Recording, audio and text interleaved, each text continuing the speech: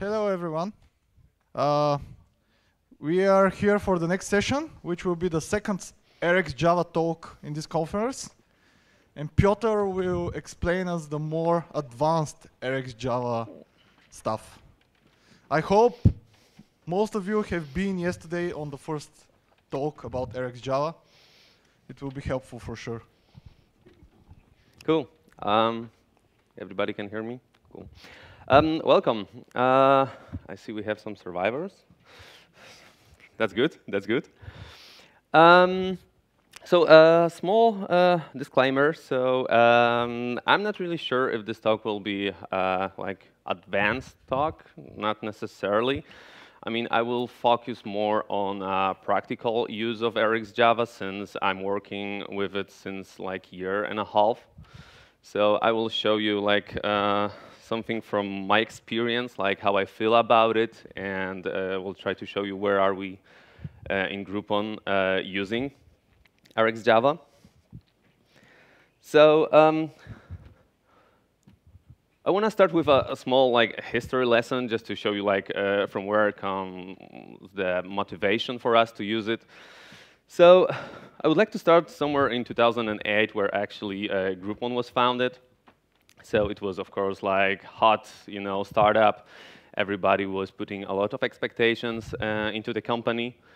And uh, as every startup, like the company was at the very beginning struggling uh, to, you know, to survive, to actually get investors, to satisfy them, and so on and so on. And at that point of time, somebody actually decided that let's go with Ruby on Rails. Like, let's build the whole platform on Ruby on Rails. And I don't know how many of you are actually using or uh, have opportunity to you know, try that. So Ruby on Rails basically is like super cool technology if you are starting from scratch or if you are having like really small code base.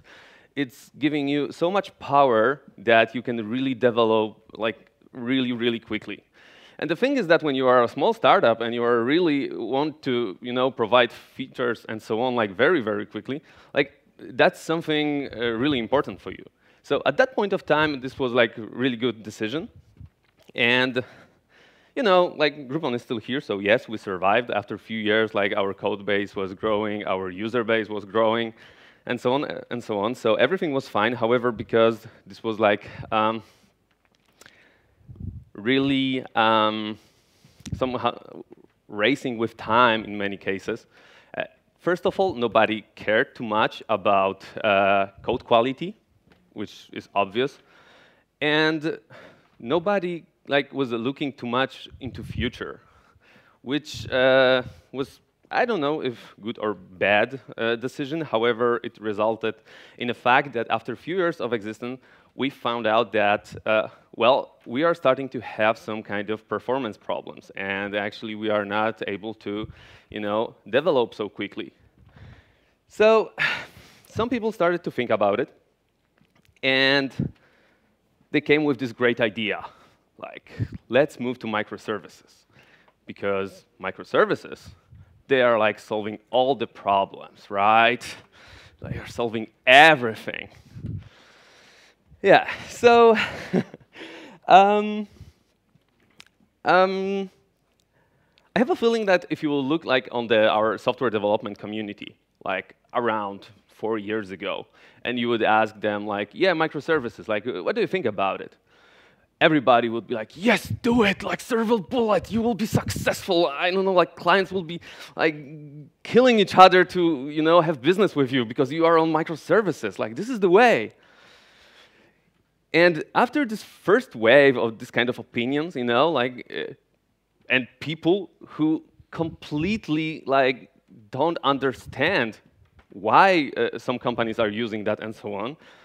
They started to use that, they fail, and there was this second wave, like microservices. Oh my god, this is such a crap. Like, don't use that. Like, really, you wanna like go bankrupt? Like, okay, I, I, think like currently we are somewhere on the third wave, where actually people are getting, you know, uh, more and more understanding, like when to apply Uh, microservices, that the monolith, it's not something bad, and if you are doing that, it doesn't mean that you are worse, like, I don't know, them sinners using monoliths.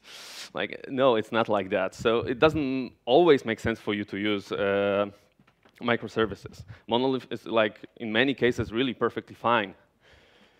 And the reason for that is that microservices, they, you know, they have like their own like pros and cons, right? They need to fit. So sure, you have like opportunity to use the correct tool for the correct job, right? You can, uh, for each microservice, you can use the technology that you really need which, by the way, like I don't know uh, if you are aware, but for example, Spotify, so one of the companies that uh, uh, first pop-ups to your mind when you are thinking uh, of microservices, they are, for example, using only Java on production. So they are not using anything else. So this argument is kind of... Anyway, uh, scalability, right? Uh, microservices, like you can, you don't need to propagate, like uh, uh, replicate your, uh, my, your, your monolith on many instances. You can just scale up the part that is really struggling with performance and so on. Um, what's more, you have like clear boundaries. You don't have this one monolith where like everybody is working on. And when you need to implement a feature, you need some, you know, one of your colleagues to implement something in his packet because you would like to use it, but he's so busy, so you will just go there, like, you know, like shuffle some ifs while and so on and so on, and everything will be fine, right? Yeah, it's done. Like, uh, don't need to thank me, like, what can go wrong? So you don't have that. You have like really clear boundaries, and in the same moment, you are building some kind of uh, specializa specialization in your team, which is uh, as well cool because you are uh, becoming like a domain experts. So, yeah, a lot of, uh, and those are like only few uh, of uh, pros for microservices. But like I said, uh, there is drawback. Like there, there is, there are cons, and like if you think about it, like eventual consistency, for example, not everybody can deal with that. And uh, if you think like about eventual consistency, you don't have this possibility to actually wrap everything like in one transaction, do all the stuff, like all the writes, reads on your database and so on, and then just commit or rollback and you are fine. No, like Usually you have uh, multiple calls to other services. Um, and they can fail, as simple as that. And when you are building microservices, you really need to think about uh, being, being uh, fault tolerant, which is actually adding uh, a lot of uh, effort to the development that you are doing. So uh, that requires yeah, that requires uh, effort. Uh, opportunity, uh, opportunities, operational complexity. Like, think about it. Like, one application, one monolith. Like, how hard could that be to, you know, to deploy and monitor that? And now think about like dealing with, I don't know, 200, 500 services that you need to somehow coordinate how they are deployed, like each in different technology, each in like completely different way you need to monitor them, you need to be able to actually track down where the bugs are. Like, this is getting really hard. You need to have like really quick uh, machine, uh, like uh, servers uh, provisioning, uh, databases, like everything. This is not an easy task. And think about like performance. So when you are having a monolith, you are just doing some calls on your local machine usually. Well, in the worst case, you are asking database for some data, right? And in microservice, you're replacing all those local calls to the functions with some HTTP or whatever you are using, which is going through network, and this is adding latency. So especially if you think about that each microservice is usually calling other microservices and so on and so on and so on, you are adding like really, really a lot of uh, latency to, the, to, to, to your system. And you need to deal with that. So because of it, performance is really, really important. And inside your microservice, you should be like as quick as possible. I mean, your logic should be really uh, making like best effort to perform very, very well. So how to do that? Um, there are a lot of ways. Oh, I skipped the slide, sorry. Uh, um, okay, how to do that? So usually what we are doing in microservices, we are doing a lot of calls to other services. And this is how it looks like. So we are getting some ID, then for each ID we are calling another service to get some uh, details about the entity that we are uh, asking. And usually we are doing it completely in a synchronous, uh, sequential manner. So from response time, uh, from response point of view, from our service response point of view, like the time that we are spending on responding, this is like more or less sum of all the calls that we are doing uh, to actually generate response. I'm skipping, skipping for now the part uh, where we are actually having the logic because usually it's relatively small in comparison to what we are uh, spending on calls to other uh, services. So how to do better? This is quite simple, right? It's uh, nothing new, no rocket science. Everybody knows that if we could actually parallelize all the calls, we are reducing the time of our response to the longer subcall in our, uh, in our uh, service. So this is quite cool, right? Nothing new, nothing fancy. So how to do that in Java? Um, completable future, this is like one way to do that. Um, previously, we have a future for those of you who don't know what is completable future. Um, completable future is like extension to uh, extended idea of uh, future. So future let you like encapsulate the logic that you want to run asynchronously um, and execute it on some other thread or thread pool and uh, thread from some other thread pool. And uh, that's cool, but uh, anybody knows what's wrong with it, like with future? and why completable futures are better? yeah. So uh, if you have a future and you want to get result, there is a get method which you need to call, and in the same moment you are blocking actually your thread that is uh, that is uh, calling the get method. So you have a one thread that is responsible for computation, and you have the main thread that actually created it, and so on, and is waiting for a result. So this is not cool because actually you know your thread could do a lot of uh, different stuff. Not necessarily uh, it has to wait for the response.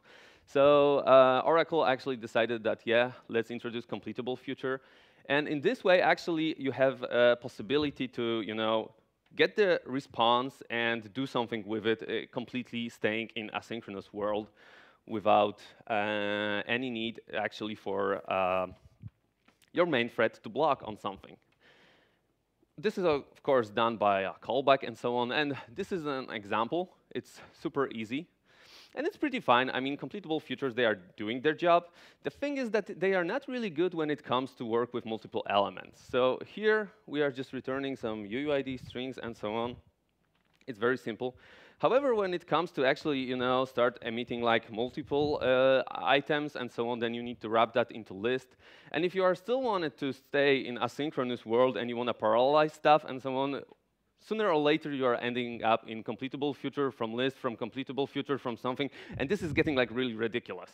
So this is like, there is nothing bad in this code. However, I, I cannot imagine somebody enjoying writing this kind of stuff. Like, it's, it's just really not cool. And the question is like, can we do it better?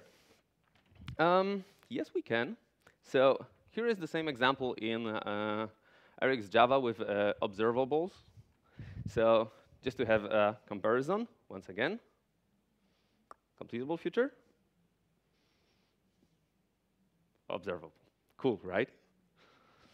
OK. Uh, first of all, probably uh, before I will go to explaining exactly what it is, uh, you probably noticed that here we are emitting list of something, and here, even that the code is doing the same stuff, we just have observable of string. And that's because uh, observables, they completely don't care about how many items they are um, emitting. This type is actually only telling you about uh, like uh, what kind of type it will be emitting, like the items, but it's not telling you completely about how many items will be emitted. So there is a possibility that actually this stream will not emit even a single uh, string, and there is a possibility that this will be actually infinite stream, like, which is uh, really, really handy. Uh, we'll see that in a moment, I believe. OK, so what is RxJava?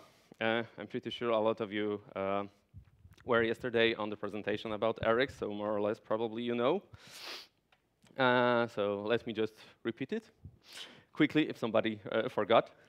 So RxJava in general is a library for, um, for composing um, asynchronous and non-blocking applications. This is like implementation of something that is called reactive extension, which is kind of guide about how reactive libraries should be, should be written.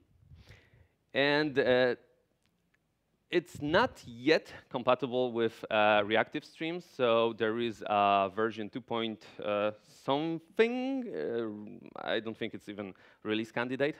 So RxJava currently is not compatible with reactive streams. There is a library for that. And in version 2.0, it will be. So you will have actually opportunity to, you know, to if you don't like RxJava, if you want to like switch that to Akka streams or whatever implementation, like your own sure, you will be able to do that. For now, it's not possible yet. But like I said, there is an adapter. If you want to have it already, sure, uh, you will really easily uh, find that on uh, GitHub.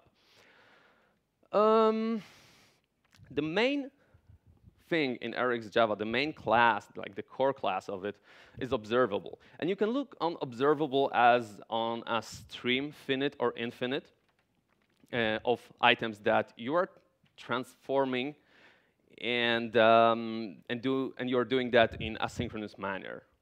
So how to create such an observable and what we can do with that.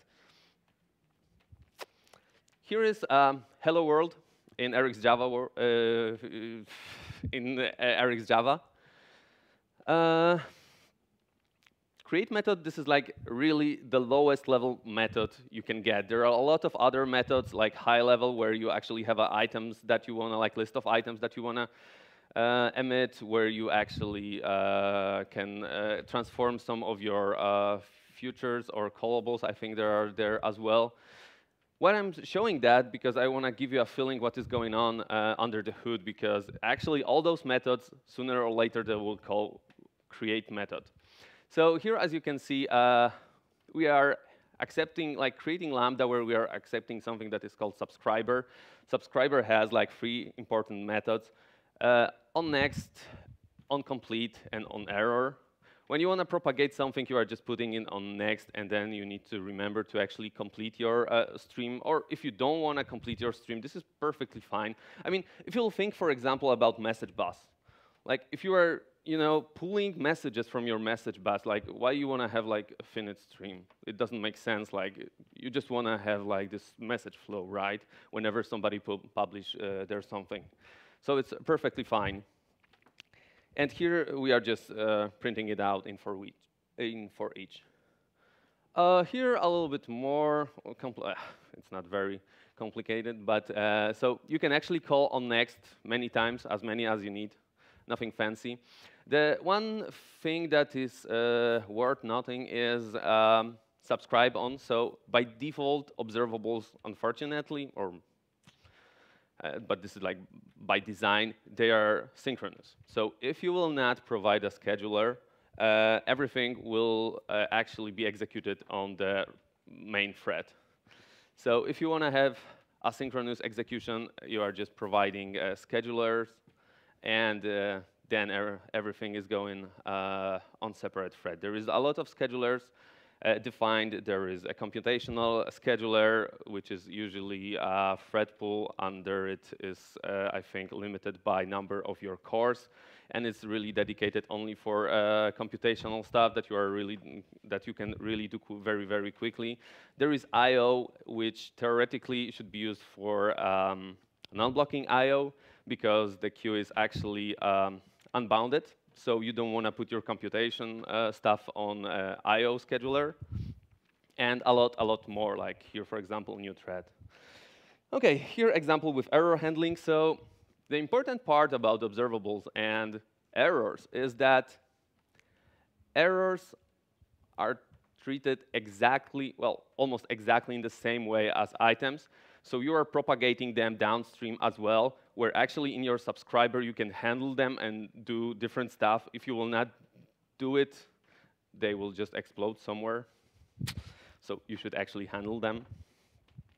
And as you can see here, for each is accepting like uh, the first uh, line in for each. This is like handling uh, regular uh, response when everything is okay. This is on, like on next, and the lower, which is printing stack trace, this guy is actually handling errors.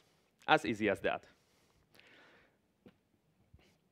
Documentation for Rx is actually something really, really nice. This is Rx Marble.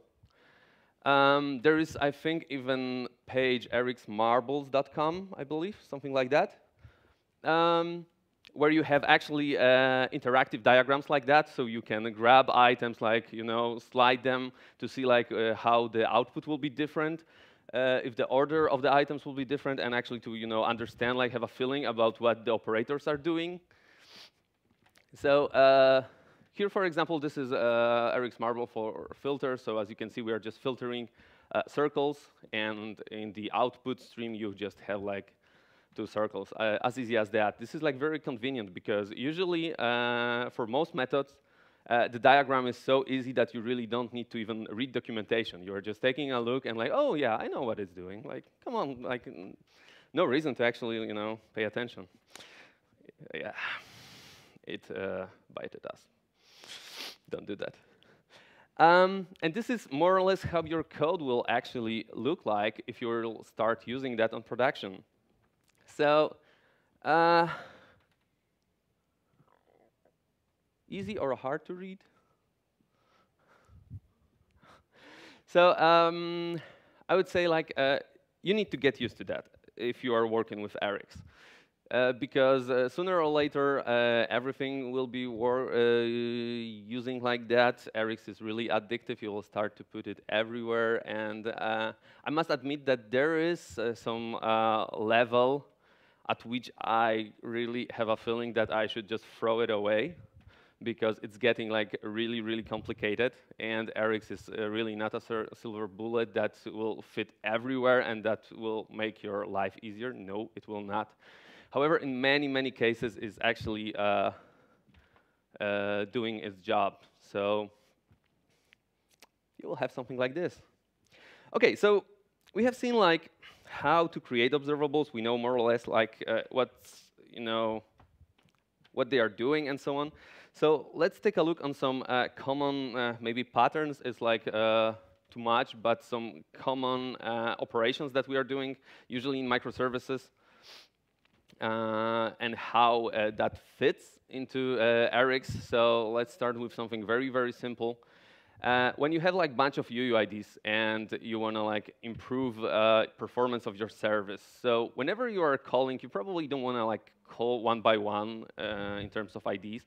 You want to just you know probably create like bunch of them and push it in a single call or in some like I don't know two or three calls. That depends on how big um, your uh, list of UUIDs uh, is. So uh, there is a really nice uh, uh, operator like buffer. So here you are just uh, buffering all the UUIDs that you are getting into a list of 50, and then you can uh, push it to some service to actually handle it. Nothing really fancy. Um, retry. I mean, in microservices, come on, we are doing a lot of retries, right? And um, it's built in as well you are just actually providing predicate and where you are defining like when we should retry. Uh, this guy is actually accepting like how many times it was already executed and the throwable, so you can you know uh, create your predicate. However, this example is quite artificial because it's not including any delay and it doesn't make much sense, right, to uh, hit service like one millisecond right after it failed. Like it probably will fail as well. So here's an example a little bit more complicated uh, with delay. Um, just to explain it like shortly, um, retry when is actually uh, you, you need to provide to retry when lambda that will accept observable of exceptions. So this uh, error observable is actually emitting errors whenever they are uh, happening in do HTTP call. And then you need to do something with them. And what we are doing is like we are zipping it with uh, observable that will emit integers from one to something, like how many retries you want to have. And then in flat map, we are just checking uh, if the number of retries is already like the limit, and then we are just propagating error further, or if it's like still fine for us to retry, and then um, we are just setting a timer, and after that many milliseconds and so on, we will try again. So uh, for people who are seeing like uh, RX for the first time, this could be like super confusing. Believe me, after some weeks with it, uh, quite simple. Um, okay, sometimes the API that we are working with, uh, they are not always exposing API that we really need to use. And sure, like in perfect world, it will be like that, and everybody would have time to, you know, uh, provide API for all our business use cases and so on. Usually, it's not. So sometimes we don't have possibility to give like I don't know, like date ranges for some data and so on. We need to actually pull it until we will satisfy some kind of predicate. So in Rx, we have something that is called take while. And here in this example, you are just, we are just doing pagination by emitting like uh, another page and another page, and we are getting comments until here. This is like, again, quite artificial uh, example because we are just uh, pulling everything in. Um, but you can just specify your predicate, and whenever the predicate is uh, still OK, uh, the source observable will emit uh, another item. So you will do another call and another call and another call. So this is as well pretty simple. And there is like plenty of this kind of stuff. So uh, even that it requires some kind of changing mindset, how you think about your code and how you're doing stuff, really a lot of this kind of operations is still uh, possible, and you need, don't need to be afraid that all of a sudden, I don't know, Rx is not giving you possibility to you know write uh, the code that you usually was like doing in normal synchronous way. Okay, so let's say this guy from Germany is like, yeah, it's telling like this that the Rx is super cool and I want to use that. And how to do that? So adaptation for Rx, if you really want to try it, is super simple. Nobody is saying that you are like that you really need to go fully Rx and you know fully uh, asynchronous. Like if you have a part of your code that is executed uh, synchronously, you can just really simply just wrap it into observable, like uh, use the create method that I showed you, or you can uh, like here just use um, defer and put some subscriber, and all of a sudden you are in asynchronous, uh, asynchronous world. And because the systems that are not designed like from very begin to be asynchronous, uh, they are somehow like, they usually have this uh, line, this boundary after which you cannot go any further asynchronous, it's not a big deal for Rx because on each, like on observable, there is a method to blocking. And as fast as you will call to blocking, you are back in your synchronous world and you can operate normally. So if you just wanna, like, for example, try Rx, or you have a use case where actually you wanna do some, you know, parallel call and so on and so on, just in order to improve performance, which was like exactly our case, how we started with it. Like really, feel free to actually grab it because it has no dependencies. I mean, this is like really a simple uh, library, and this will not pull like you know half of internet into your project. Um, testing, testing, very important part. So we all do testing, right? So Rx, um, we should test observables as well. So JUnit is not like framework for actually testing asynchronous stuff, right? If you would just define observable and provide subscriber, your test will pass, and we are all happy, and then you are looking on the console, and there is a lot of explosions, and you don't know what's going on. But your bar is green, so let's go production. Um, Rx comes with a test subscriber, which is like very, very useful uh, tool. However, that depends like what you want to test. If you want to have like real black box, a black box test, and you are only interested in the result of your computation, you can use toBlocking method that I mentioned just a moment ago. Um, however, if you need like a little bit more insight into your observable, what's going on, like if there was some exception, how many items was emitted, and so on and so on, uh, this guy will give you that. It will as well um, block the execution uh, of your unit test, so everything will be fine. So um, testing um, of Rx is really simple as opposite to debugging it.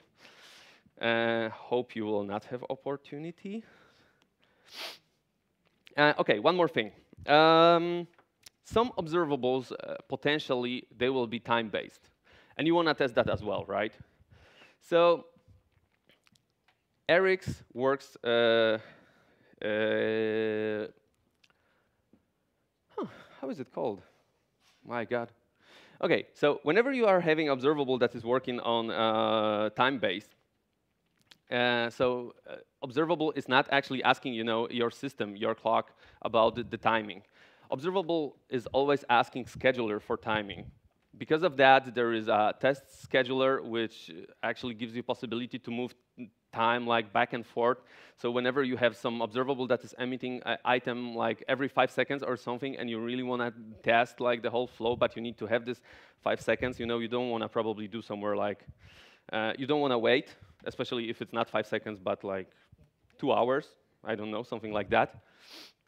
Uh, you can just use the test scheduler and then uh, really move the time back and forth to see if everything is fine. I think this is called pure virtual time. That was the word I was. Uh, that was the word I was missing. Okay, so uh, that's cool. We know how to adapt. We know uh, we know how to test, and when we know we have some kind of feeling about it. I hope. What about tooling? I mean, when we are using a library that is actually taking um, responsibility for all the flow that we are doing, we probably would like to have like nice integration with other tools. And this is like a, really a reasonable point. And RxJava actually comes with really nice integration with many, many tools. Uh, I will be just talking about three of them. So first is Retrofit. And Retrofit is HTTP client that is uh, completely annotation based. So this is like a really simple tool. You are just creating interface where you're putting annotations about like uh, what HTTP verb you want to use, what kind of query parameters, what kind of path parameters uh, you want to use. And the only thing that you are doing is just providing this interface. And when you have that interface, Retrofit comes with a special builder when you are just passing your uh, interface and saying, like, yeah, I want to have implementation of that. And this guy is actually giving you ready implementation. You don't need to write a single line of code. Everything is there. What's more, there is a lot of other functionality, like if you want to have some uh, interceptors around your calls, there is a possibility if you want to uh, have some logging, uh, like uh, there is a lot of things that actually you can uh, inject into retrofit.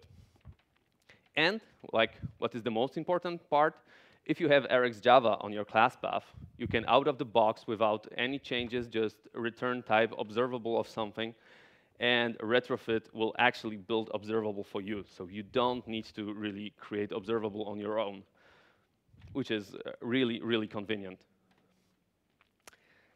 Next tool, Hystrix. Um, how many of you are using Hystrix? Oh, only one person? OK, uh, how many of you are working with microservices? OK, some. Good.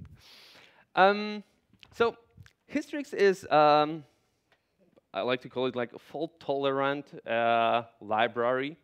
So it gives you possibility to actually isolate all the points of your system when you are doing calls to other systems in order to actually handle failures. And you are doing it simply by implementing something that is called Hystrix command. This is like very, very uh, simple example. And I'm actually wrapping here a concatenation of string, which is usually not failing, right? Um, so if you think about like calls to other services, there's a lot of things that can go wrong, right? Hystrix is coming with a timeout, which maybe it's not so unusual because you can have that on your HTTP client level as well. However, beside that, it comes with uh, other stuff, not only timeouts. So you can actually have as well, uh, you can limit number of calls that you are doing in parallel. So if the service that you are using is able to, I don't know, handle 5,000 requests per second, and you are hitting on the peak time them with 20,000, come on, this will not work. And uh, if you are having something like that, probably you want to fail fast just to, you know, degrade like the response, but still to respond quickly to your user and give them some reasonable da data to work with. Even if it will be stale or something, it's still better. What's more, Hystrix uh, command actually implements a circuit breaker pattern. So you are able to actually define the threshold of errors after which you don't want to hit the service again. Because if the service is actually failing or uh, having some downtime, right, uh, downtime, downtime, uh, you don't want to hit it still, especially if you like. There is a potential risk that your call to the service will like hang for the time of the timeout that you have. So like really waiting uh, 60 seconds for uh, you know response that sorry server is not there, it doesn't make sense, right? So you can define this threshold after which Hystrix will stop executing it. It's, they, it's uh, opening the circle. And you're defining time after which it should have like probation period when he is actually hitting this service. And if the service is uh, responding, it's like closing the circuit. So this is like a really, really cool idea.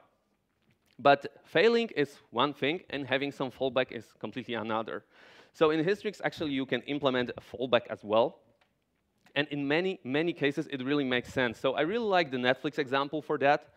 Uh, I don't know how many of you are using Netflix. However, like Netflix is uh, so neat that whenever you are like watching a movie and somewhere in the middle of a movie, uh, like I don't know, somebody calls or something, so you are yeah okay, I will watch that later. Whenever you are you know wanna continue watching, it always remember where you finished. So it have this it has this bookmark. And the thing is that before Netflix introduced, uh, introduced uh, Hystrix, uh, they had this problem that if the bookmark service was down, you were not able to watch the movie. And it was not like you were not able to watch it from zero, zero. Like they were not loading it because they didn't know where you finished. So when they introduced Hystrix, they actually put a fallback as a zero, zero which makes sense because for user it's much better actually, you know, to like fast forward to the place where it finished instead of actually uh, not letting you watch your movie. Like this is like perfect, perfect example. Uh, you can still, uh, in the fallback, you can have uh, some calls to other services, like uh, with some stale data, because sometimes it's really better to, to give some to give people some stale data. I really don't care if uh, Netflix will give me information about like yeah recommended movie is that and it doesn't matter that you watch it like 10 times last week. Like still it's better than having you know blue screen and telling like oh my god no please come back in an hour. So it's really really nice and Hystrix actually comes with because it's from Netflix uh, it comes with really, really nice uh, integration with uh, Java.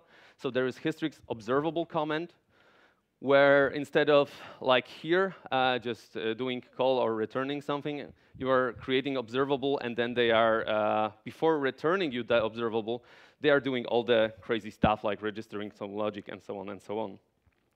What's more, there is a project Turbine, I think it's called like that, so uh, Hystrix is exposing some kind of statistics, so you can have like really sexy graphs about uh, how um, like all your commands are working, how many requests were okay, how many were not.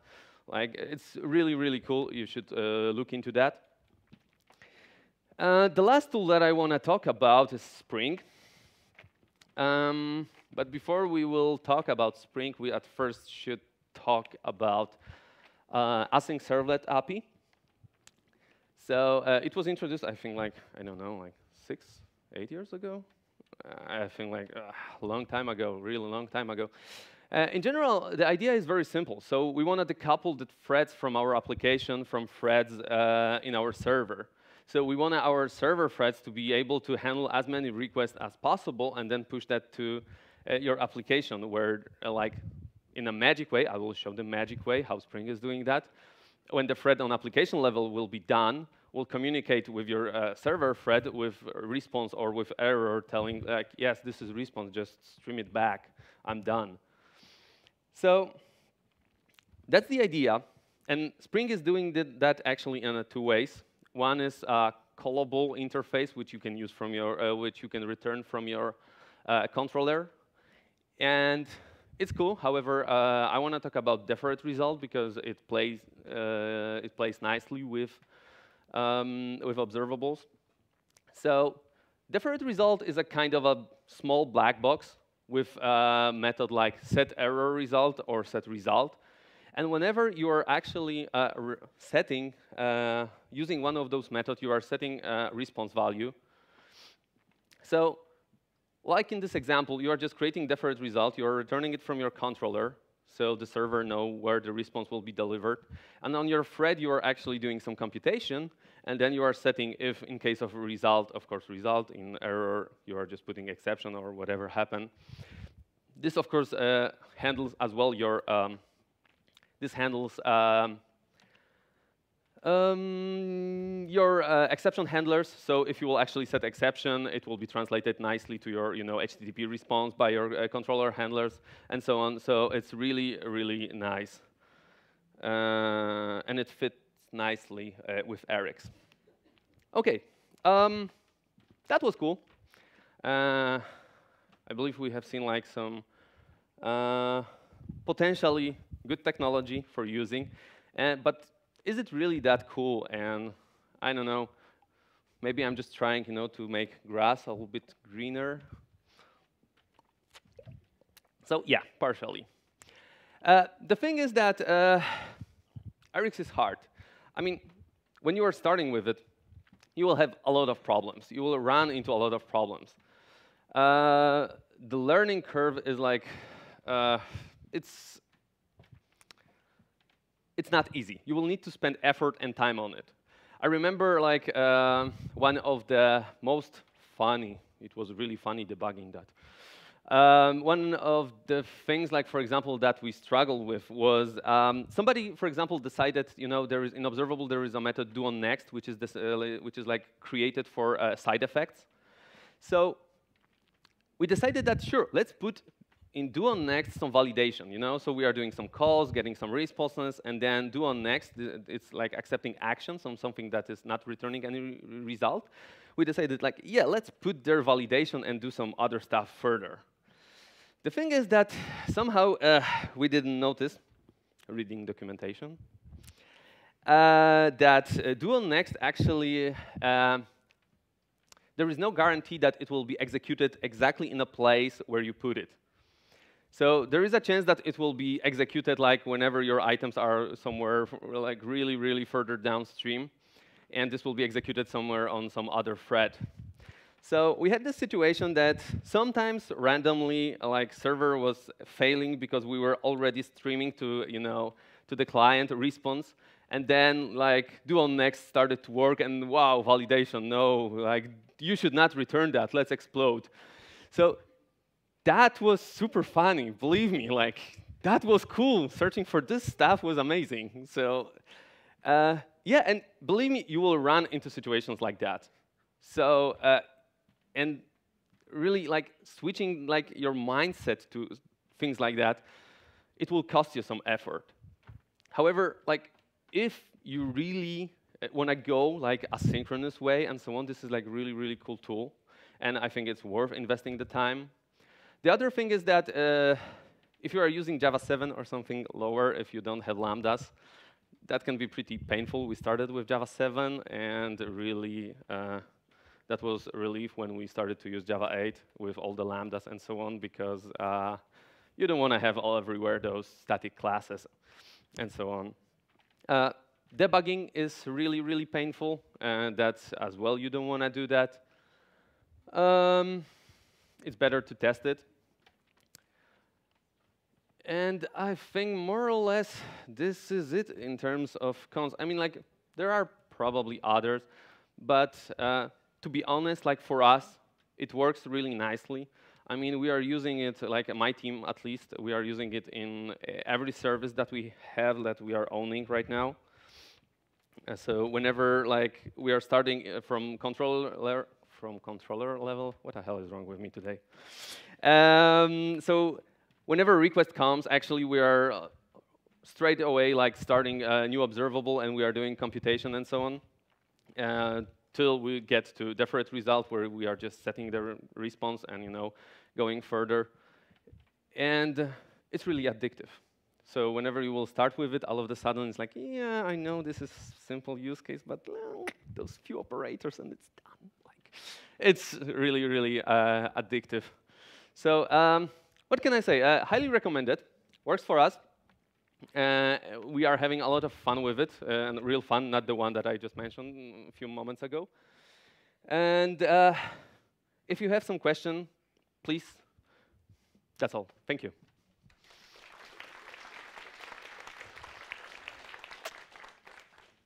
Do we have a microphone? but then I will need to repeat. oh, okay. Sure. Thank you. Uh, my question is, is regarding uh, retro retrofit URLs, uh, which you showed. Uh, can you can you add uh, their configuration? Because I saw something like version, which is version of the API probably. Uh-huh. can it be configurable? Because I see entity, but mm -hmm. I mm-hmm. cannot see yeah. set. So yeah, yeah. So whenever you are, like I said, there is a builder that actually is accepting interface. Uh, there is a lot of uh, stuff that you can inject into that. So if you have like uh, you know need for uh, some stuff that will be constant, uh, like around all calls and so on, you can put it. You can actually put there like inject some kind of um, object that will be gathering this information from somewhere. So sure, this is like really highly configurable. Okay, thank you. Any more questions? Damn, it's Hard to see you guys from here. Uh, could you tell more about how RxJava works with databases? Uh, how we can make uh, selects from database and use it as a observable? Um, okay. Um, so there is actually a tool. There is a tool for everything, I guess. Um, RxDB. GitHub. Um, is it RxDB? Okay, I don't remember. Um, however, it was uh, recommended somewhere on the uh, Java um, uh, page, so uh, this is a well-known library. So uh, yeah, there are libraries where you can actually have uh, the same, more or less, look and feel in terms of access to database. So, uh, you know, Fluent API that is returning you observables where you can actually do some, you know, uh, operations on it and so on. So, uh, yes, sure. Uh, the only thing is that uh, it was like uh, outcome of yesterday discussion with somebody. I don't remember who uh, that uh, because sometimes you really want to go like on a different threads and so on, and like if you are using Hibernate and have sessions and so on, you can have some problems with it. However, if you are just doing it in terms of like asynchronous manner, sure, you should be able to do that. You are just uh, at the very beginning of your observable, you are just creating, um, you are just creating a um, transaction going further, and then like in your subscriber, you just have like rollback or comment, and there is no problem with it, I would say. Okay, any more questions? No? No more questions? Okay, cool. Uh, thank you very much. Uh, enjoy the rest of the conference. And uh, if somebody has some question, grab me outside.